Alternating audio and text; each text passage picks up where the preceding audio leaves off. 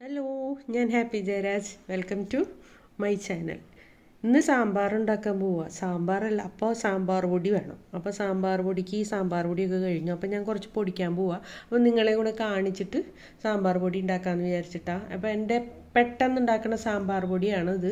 അപ്പോൾ ഒരു ഒന്നൊന്നര വർഷത്തോളമായി സാമ്പാർ പൊടി ഉണ്ടാക്കി വെച്ചിട്ട് അപ്പോൾ അത് കഴിഞ്ഞു.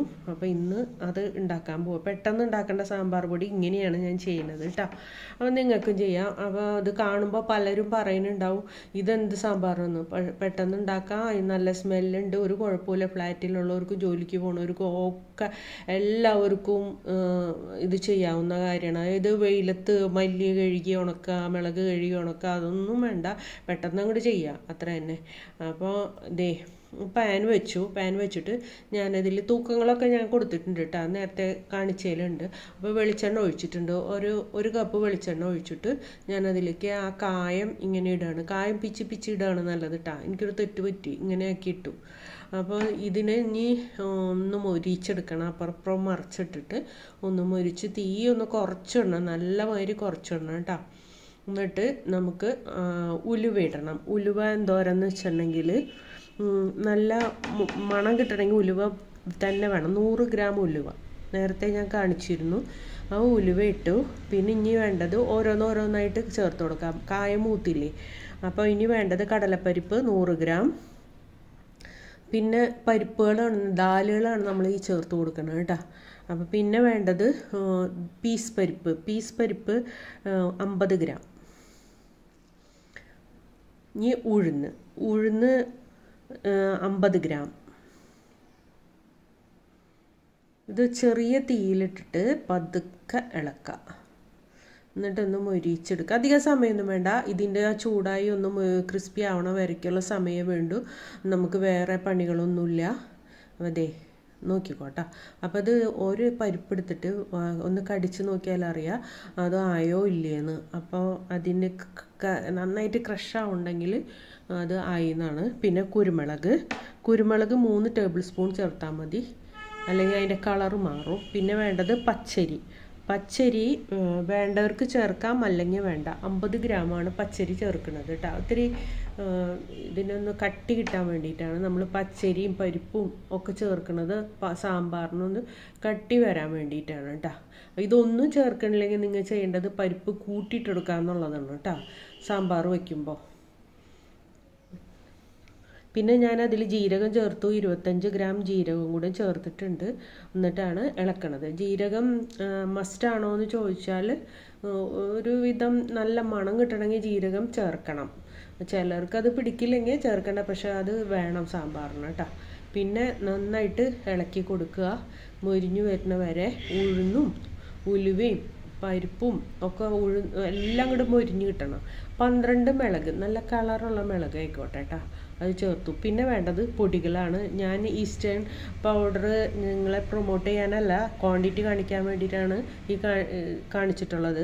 മല്ലിപ്പൊടി അര കിലോ മുളക് പൊടി കാൽ കിലോ. അതാണ് ചേർക്കുന്നത് രണ്ട് പാക്കറ്റ് എടുത്തിട്ടുണ്ട് ഇരുന്നൂറ്റമ്പത് ഗ്രാം വെച്ചിട്ടുള്ളത്.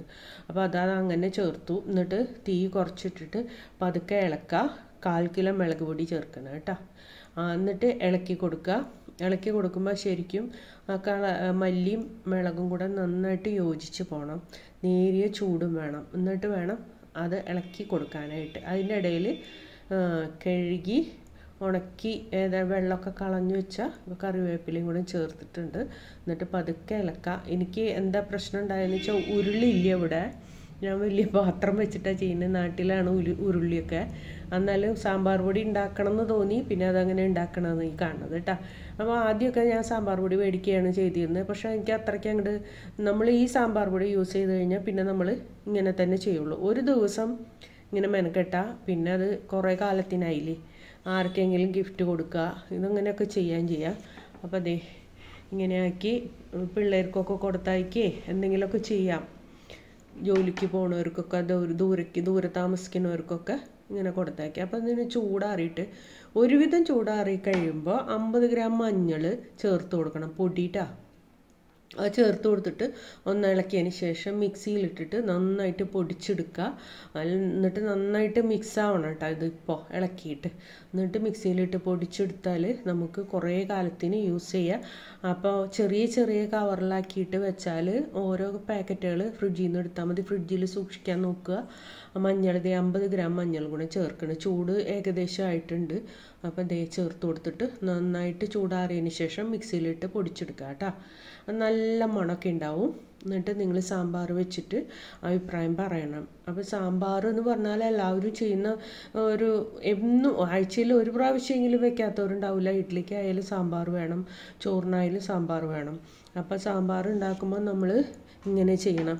ഇഡ്ഡലി സാമ്പാർ ഉണ്ടാക്കുക ആയാലും അതായത് നമ്മൾ രാവിലെ ടിഫിൻ സാമ്പാർ ഉണ്ടാക്കുമല്ലോ അതിനായാലും കുഴപ്പമില്ല. മറ്റേ എൽ എന്തിനും നമുക്ക് ഈ സാമ്പാർ പൊടി എടുത്താൽ മതി കേട്ടോ അപ്പോൾ ഇതൊന്ന് ചെയ്ത് നോക്കുക വീട്ടിൽ.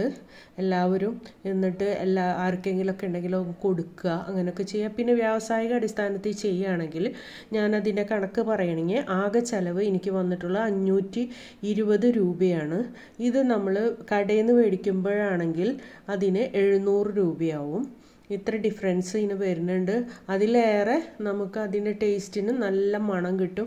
കായത്തിന് വില കൂടുതലായ ആയതുകൊണ്ട് കായം വളരെ കുറവായിരിക്കും ഇതിൽ ചേർക്കുക. നമ്മൾ മേടിക്കുമ്പോൾ അപ്പോൾ അതുകൊണ്ടാണ് അതിന് സ്മെല്ലില്ലാത്തത്. അപ്പോൾ സാമ്പാർ പൊടി ഇട്ടാലും നമ്മൾ കാച്ചി ഒഴിക്കുമ്പോൾ കുറച്ച് കായം അതിലിട്ടിട്ടൊക്കെയാണ് സാമ്പാറിനെ ശരിയാക്കിയ ആൾക്കാർ എടുക്കുന്നത് അപ്പോൾ അതിന് അതൊന്നും വേണ്ട. നമുക്ക് ഇങ്ങനെ ചെയ്തിട്ട് വീട്ടിൽ സൂക്ഷിച്ച് വെച്ചാൽ കുറേ നാൾ നമുക്ക് ഉപയോഗിക്കാൻ പറ്റും. അപ്പോൾ എല്ലാവരും ഒന്ന് ട്രൈ ചെയ്ത് നോക്കട്ടാ. എല്ലാവർക്കും ഒന്ന് അയച്ചു കൊടുക്കുക എല്ലാവരും ഷെയർ ചെയ്തിട്ട് ഇതൊക്കെ പറഞ്ഞു കൊടുക്കുക അപ്പോൾ എല്ലാവരും എന്റെ വീഡിയോസൊക്കെ ഒന്ന് കാണുക. അടുത്ത വീഡിയോ ആയിട്ട് ഞാൻ രണ്ട് ദിവസം കഴിഞ്ഞിട്ട് ഞാൻ വീണ്ടും വീഡിയോ ഇടും. രണ്ട് ദിവസം കഴിഞ്ഞിട്ട് എന്റെ മൂഡിനനുസരിച്ച് വീഡിയോ ഇടാം കേട്ടോ ബൈ ബൈ ഓക്കേ